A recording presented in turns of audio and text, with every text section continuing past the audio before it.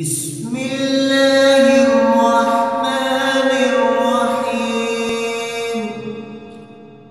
ألم نشرح لك صدرا ووضعنا عنك وزرا